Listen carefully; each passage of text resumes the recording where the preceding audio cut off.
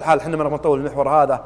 المقدمين والله إنكم ضيعتوا وقتنا ضيعتوا طموحاتنا ضيعتوا شغف النجاح ضيعتوا النسخة ضيعتوا المتسابقين والمتسابقين أبشركم إنهم ضاعوا إلا الأربعة هذول إن شاء الله إنهم ما ضاعوا. عجبني والله السيناريو حقهم البارحة. الأربعة أبطال في هذه القرية أصروا إنه بعد الكشتة إنه واحد منهم يكمل نص دينه. واحد منهم قرر إنه يتزوج بما يخص الزواج وهذا المحور. الرسول صلى الله عليه وسلم قال بما معنى أحاديثه أيها الشباب من استطاع منكم الباءة فليتزوج. يعني الزواج ترى نص الدين بالعكس. الزواج وانت صغير ترى فائدة لك. الرسول صلى الله عليه وسلم قال تكاثروا وتناكحوا وهنيموا باهل بكم يوم القيامة. ترى الزواج شيء جميل إنك تستقر وتسكن وترتاح وتحصن نفسك. وش أجمل من هذه الرسالة اللي قدموها المتسابقين؟ وش تقول؟ هل الزواج شيء مهم في هذا الزمان أو في هذا الوقت؟ صحيح.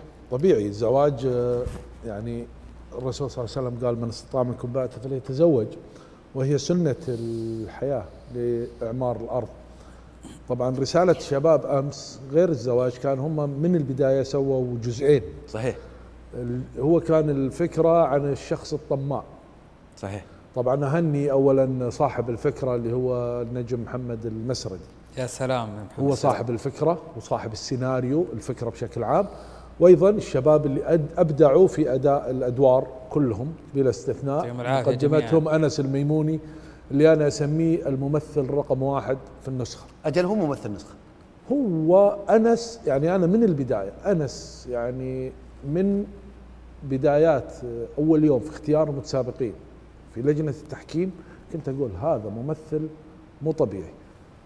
كان إنسان مو طبيعي في إمكانياته التمثيلية وأتوقع إلى الآن وهي دعوة أوجهها للجميع وأتمنى قناة الواقع يتبنون أنس لأن أنس بعد النسخة أتوقع ستتهافت عليه شركات الإنتاج بشكل كبير. الله الله. أتوقع له نجومية رائعة جدا. يمكن من سوء حظ أنس إنه اعمال رمضان الآن بدأت. صحيح. وعلى ما يخلص يكون خلاص خلصوا. ولا أتوقع إن لو كان البرنامج قبل شهرين كان أنس بيكون أحد نجوم رمضان القادم. أنس عظيم جدا. طبعا نرجع للفكرة. محمد المسردي كان يبغى يوصل فكرة إنه آه، التسهيل في الزواج عدم المبالغة. فهو مثل آه، شخصية الشخص الطماع اللي طمعان في في أموال أنس وكذا حتى لين يوم الزواج كان يقول له متى بتجيب لي الجيب؟ يعني كهدية أو شيء زي كذا. فالرسالة كانت آه، إنه دعوة للجميع. هي- كان مشهد بسيط جدا. هي دعوة لاولياء الأمور. إنكم سهلوا زواج أبنائكم. والرسول صلى الله عليه وسلم قال إن أتاكم من ترضون دينه وخلقه فزوجوه. يعني الطمع دائما زي ما يقولون يسبب مشاكل. طيب جميل الاطراء والحديث حول هذا ال- الحدث. إذا في مقطع أو تقرير للجزء الأول للشباب يا مشعل؟ يا ريت عطنا الجزء الأول خلنا خلنا نشوف إحنا ويا الجمهور وبعدين نرجع الجزء الثاني. أبو تركي وفاز بالعدل والحق وفقه ربي وانصره. لين خلى الحكم كانه ضلاعين الحجاز واستقر لمن والشعب كله يشكره.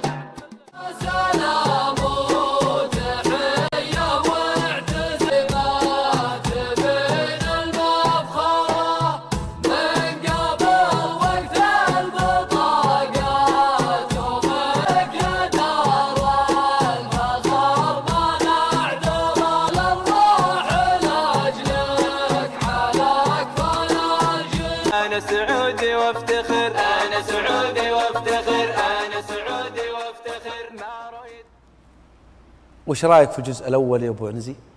والله الشباب آه، أبدعوا جدا. يعني آه، اللي اللي صار البارح آه، ليس مجرد يعني مسرحية أو أو تمثيلية.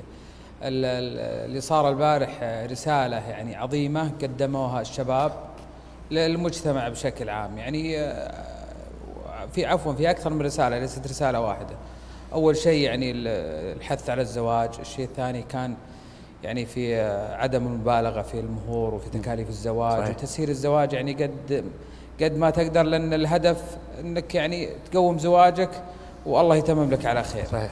الشيء الثالث يعني كان في يعني بعض الناس وبعض فئات المجتمع اللي هدفهم الأول والأخير المال بس.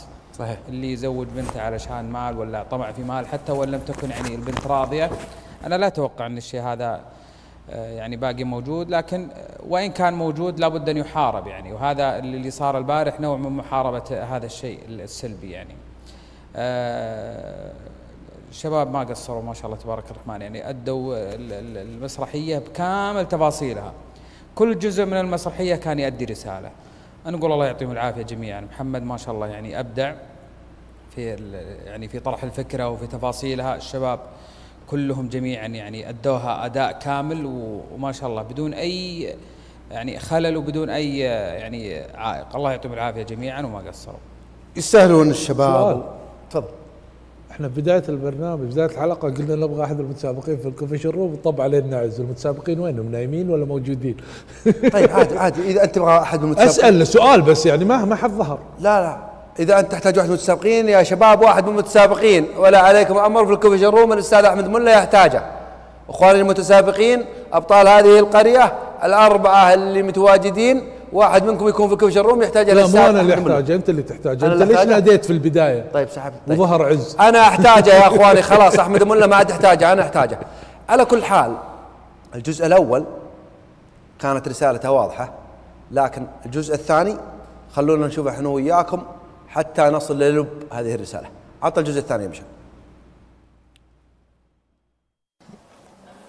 نقول يا ولدي سم كيف صار فيك؟ إنا لله أنا راجع. أعوذ بالله من الشيطان. عسى خير عسى خير. طابت النفس. وشو؟ والنفس عافت. بس الله يعوضني ويعوضها إن شاء الله. والله عين خير عين خير. طابت ال- طابت النفس من هالعرس كله. لا لا لا. ما عليه طابت النفس من هالعرس كله. الكلام غير الكلام. خلاص يا عمي. عمي تخطيت تخطيت إنك بديت المال علي اخ يا محمد. اخ إي والله. هذا اللي هذا اللي خلاك خلاك توصل للمرحلة هذه. رسول اللهم صل وسلم حث على الزواج. ما استطاع منكم تباءتها فليتزوج قال الرسول صلى الله عليه وسلم. أو هناك شاب في مقتبل العمر في بداية عمره مقتدر على أمور إشارة مقتدرة أمور مق- مقنوعة. يعني مهر آه، يعني أتوقع أن الرسالة وصلت أو أكملت. رسالة فوق رسالتهم مني أنا يا صالح المكسر إلى أولياء الأمور أو إلى كل واحد عنده ولد أو بنيه أما اللي عنده بنيه فثنتين. اللي بيجيكم راعي دين وراعي صلاة ومستور حال زوجوه شر الله عليكم. استروا بنيتكم وترى راعي الفضل. وانت يا والدي وانت يا أميمتي يلي عندكم ولد بلغ وتشوفونه عاقل راشد سوي توظف استروه دوروا له بنت الحلال اللي تعينه على الدنيا ما تعين الدنيا عليه. الدنيا سهلة. أحد حديث الرسول صلى الله عليه وسلم بما معناه ثلاثة على الله حق اعانتهم شاب أراد العفاف. يا أخواني ترى الأمر سهل. خلوا الدنيا ومال الدنيا وأوهام الدنيا وأحلام الدنيا خلوهم هم يجمعونهم سوا. خلوا الزوج وزوجته يكونونهم مع يكونون الأمر هذا مع بعض. لا لا, لا تحملون همهم. اجمعوهم بالحلال واتركوه. الدنيا كفيلة إنهم تساعدهم يصلون لاحلامهم سوا. من اللي في الكوفي شروم اعطونا محمد المسري.